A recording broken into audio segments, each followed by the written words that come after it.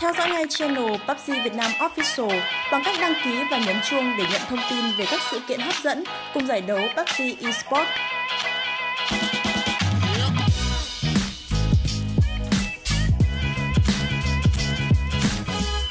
Và bên này Simon nằm xuống một vị trí mèo ú rồi và Division X Gaming. Họ đang cố gắng quyết định trả thù trong tình huống này. Huy Phú là người đã phôm tấn công mạng, vị trí của đó là 19 sen Division X Gaming họ còn cho mình đó là ba player mà thôi. LH0905 là người quyết định mở cánh trong tình huống này. Quyết định dừng xe ở lại để quyết định cây kêu trong tình huống này liệu có hợp lý hay không? Long Ca bắt đầu trong tình huống thủ nhà rồi. Rất có những tình huống mà bắt đầu trong tình huống kê từ vị trí của Long Ca và Division X Gaming họ cần có một tình huống lên xe di chuyển trong tình huống này.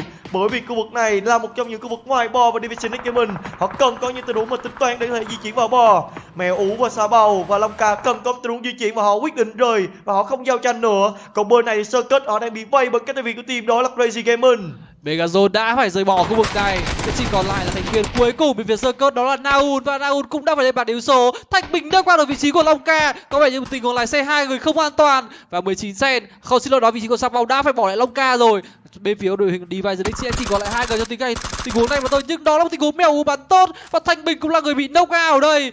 Xe cứu được Long Ca đội của Device vẫn còn lại ba người và trước đó thì sao? Cái TV team đó là sao bao vừa có luôn mạng với chiếu Amiton và cái TV team Megazone họ cũng đang có rất nhiều lợi thế khi họ bắt đầu di chuyển lên khu vực đó là đầu cầu rồi. Là cả Quý Hào, TPT vừa có luôn mạng với chiếu Trường Anh Vũ, Long Ca cùng với đó là Mèo đang bắt đầu mở cánh và bên này sao bao vẫn có tình huống nhảy nhấp nha liên tục để khiến cho cái TV TVA Sport họ không thể bích trong tình huống vừa rồi. Mèo Ú và Long Ca sẽ đụng độ với Izanagi, một trong những cái thế mà Izanagi có thể có tình huống một lên hai không. Long Ca có luôn mạng với chiếu fuka và Mèo Ú form luôn rất nhanh. Ôi, Mèo Ú thấy được vị trí Zanagi rồi. Rất may mắn cho cái TV của team đó, Division X Gaming. Long Ca bắt đầu trả nét lên trong tình huống này. Và bên này thì sao? Mèo đã nằm xuống một vị trí của BC10 của team đó là TDZ Esports. Vẫn là tình huống này cố gắng gạt dò vừa nói xong thì sao bầu có luôn mẹ vị trí Amiton và cái TV của team đó là Division X Gaming. Họ đã có cho mình được 4 điểm hạ gục rồi. Long Ca sẽ được cứu hay không? Khi Megazone họ cũng đang cố gắng bóc sau lưng cái TV TV Esports. Sao bầu bắt đầu tap tình huống này. Nhưng đồng tap tôi vị trí sao bầu sao bầu tap tốt và sao bầu có luôn mạng vị trí Zanagi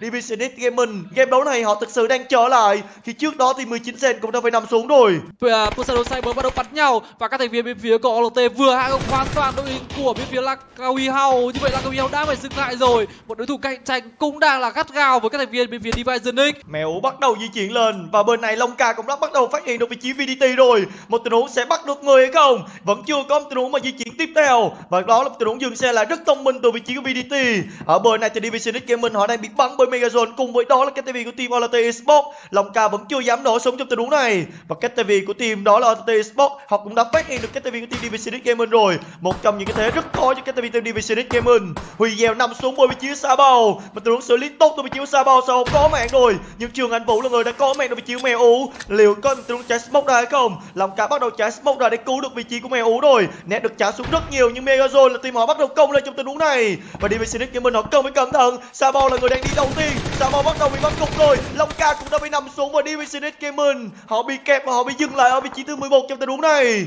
Rất khó cho Division X trong tình huống này khi mà có cả OLT cũng như là Megazone đều đang muốn công lên đội hình của họ và họ đã bị gặp khó. Mèo bị nốc rồi sau đấy một tình huống Megazone đẩy sang clear hoàn toàn các thành viên của Division X dừng lại ở top 11 nhưng đó là một cái top và họ có rất nhiều kill. Tôi nghĩ rằng đó có phải là 6 7 kill gì đấy. Cũng là một trận đấu mà chấp nhận được dành cho thành viên của Division X LH0905 là người đã quyết định di chuyển xuống vực Query và diễn biến khác thì chỉ tầm có lúc mạng vị trí túng con rồi. Và các thành viên của team Bobby họ đang đụng độ với TDZ thì trường anh cũng có lúc trận đấu tấn công mạng vị trí của Tiger. Bắt đầu xảy vào Smoke và Megazone dừng lại rồi. OLT Esports game đấu này họ đang bắn rất tốt. JTK có lúc mạng vị trí của túng con. Ở bên này chỉ tầm mở canh tốt chi Tâm có mạng rồi nhưng ngay lập tức double knock out cho vị trí Chi Tâm.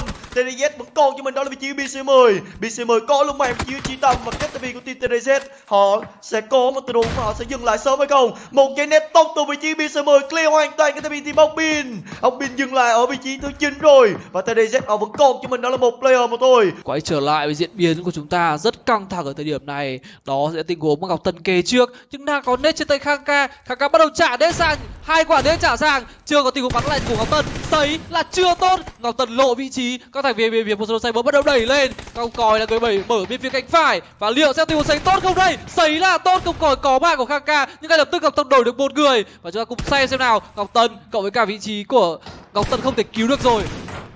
Bên này gà con mở cánh, gà con có mang được chiếu công còi. Liên tục choáng được trả lên Đức Hiếu, Triple Seven và Kenka đang cố gắng cứu nhau. Nhưng ngay lập tức bizino đẩy ra, bizino có mạng rồi. Double kill cho vị trí của bizino. Và cái thành viên team VDK mình họ mất cho mình đó là một người. Magino là thành viên cuối cùng của team đó là VDK mình Màu ghi họ đang có rất nhiều lợi thế. Dép người được đúng thành công. Form từ vị trí của gà con, gà con có cho mình thêm một điểm vào gục nữa. Màu ghi họ đang bắt rất tốt ở game đấu này. Và họ đang củng cố cái vị trí của mình, của mình ở trên bảng xếp hạng. Magino bắt đầu đấu skill và top 1 thuộc về Maugi Esports 18 kill. Phải đáng rất là khen ngợi cho cái tình huống mà BG đội quyết định đẩy ra. Anh ta có cho mình thêm hai kill so với việc mà đợi đối phương bắn xong và không có cho mình thêm một kill nào thì đây sự quyết định, nó là vô cùng chính xác. Và với việc mà chỉ còn hai người nhưng kéo cho mình đến được cái top 2 với cái 6 kill, tôi nghĩ rằng đó là một thành công thì cho bên phía của bên đơn kiếm binh rồi. Và chúng ta sẽ lại một lần nữa khó đoán ở cái bảng xếp hạng tìm hiện tại theo dõi ngay channel PUBG Việt Nam Official bằng cách đăng ký và nhấn chuông để nhận thông tin về các sự kiện hấp dẫn cùng giải đấu PUBG Esports.